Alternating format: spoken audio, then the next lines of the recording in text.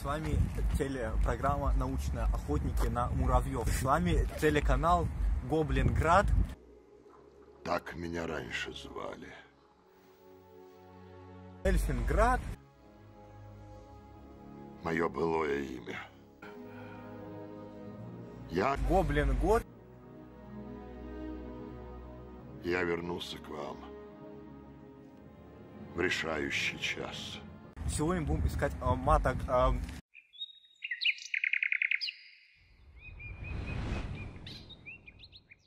Ну что, мне кажется, настало время обсудить, как там Эльфинград поживает, что с муравьями и с каналом вообще. По-моему, этот муравей совсем обленился, видосов не пилит, новостей нет.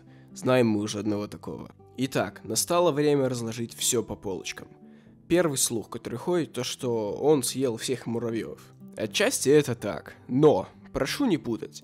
Есть небольшая разница между муравейником и муравьями, но эта тема в будущем обязательно раскроется более подробно, так что вот так. Второй слух то, что это муравьи съели Гоблингорда. Отчасти это правда, но опять же не совсем, потому что, как мы знаем, Эльфингорд это муравьиный лев, а муравьи не могут съесть муравьиного льва. Существуют, конечно, некоторые исключения, если на это повлияет сам муравьиный бог, но мне кажется, в этом частном случае все намного проще. Вообще мир стал намного проще. Если кто-то сначала заморачивался над действительно годным контентом, то потом, рано или поздно, все равно перешел на наше любимое. Опять же, я ни на что не намекаю. Вообще жизнь состоит из определенных циклов.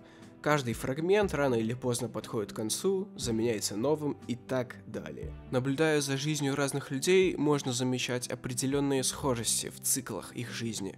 Однако сами эти похожие циклы разбросаны хаотично и могут у каждого человека происходить в разное время. Это я к тому, что наблюдая за творчеством одного индивида, можно будет предсказать в будущем, что будет в творчестве похожего индивида. Но говорил я, мирмикиперство на ютубе умерло. Что мы имеем? Мирмикиперство умерло.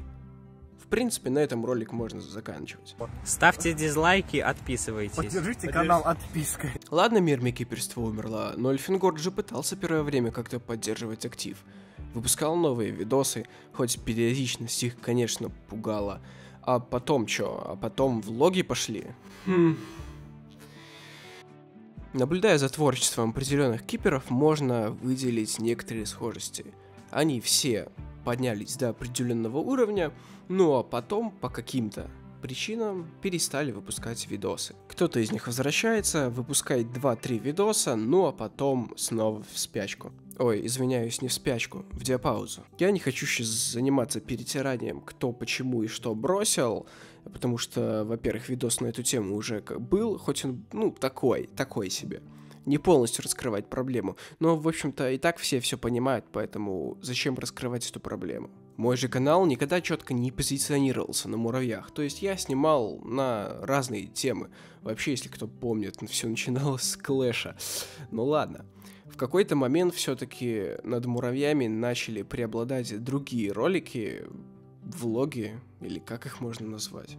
В любом случае, популярностью среди мирмикиперов они не пользовались, и актив на канале резко упал. И даже несмотря на это, я был все равно сильно заинтересован в том, чтобы смонтировать эти ролики, потому что они останутся, это какие-то воспоминания из жизни, которые будут потом просто интересно пересмотреть. В то же время контент для муравьев требовал свежих идей, новое оборудование, потому что снимать на старый телефон был уже совсем зашкваром. Могу в пример привести канал Friendly Ants, который начинал свою деятельность прямо на моих глазах. Когда я на него подписался, у него подписчиков было штук 50-60. Его контент мне сразу понравился, да и автор часто выпускал ролики, а качество их постоянно росло. Когда аудитория Friendly Ants значительно превысила мою, я в принципе и не удивился, это было и сразу понятно. Владос постоянно запаривался над контентом, приобретал новые виды муравьев, купил микрофон и даже начал делать свои фермы в Корле. Чё сказать, красавчик, рекомендую канал Friendly Ants, вот подписывайтесь. В то же время я также хотел расширять качество своего контента, но возможностей не было.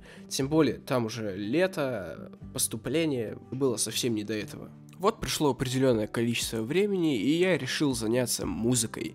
Не битами, а музыкой, да. Для этого мне понадобились инструменты, а также оборудование, в частности микрофон. Ну, музыка ж не YouTube, на нее деньги можно и потратить. На фоне этого ролика вы, кстати, можете наблюдать одно из моих первых творений. В итоге сижу я сейчас и думаю, микрофон есть, комп есть, почему бы ролик не запилить?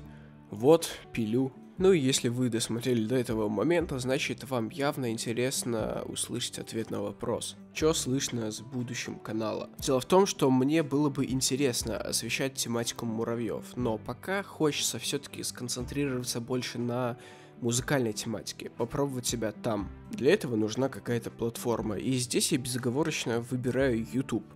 Также я знаю, что есть зрители, которые смотрят меня не только из-за муравьев, а потому что им в принципе интересно следить за мной и моим творчеством. И тут возникает вопрос, создавать ли новый канал для музыки или продолжать все делать здесь? Это довольно важный шаг, и поэтому в первую очередь я спрашиваю вас, тех, кто будет или не будет смотреть. Вообще это довольно круто, когда зрители смотрят ютубера не из-за того, что он снимает определенный вид контента, а потому что он им нравится как личность и как ютубер. Поэтому как-то вот так. Спасибо всем, кто смотрел наше похождения в поисках всяких Мурашей. мурашей. Можем в следующем видео покажем методику ловления муравьев на свое очко. Ставьте дизлайки, отписывайтесь. Поддержите канал отпиской. Пожалуйста.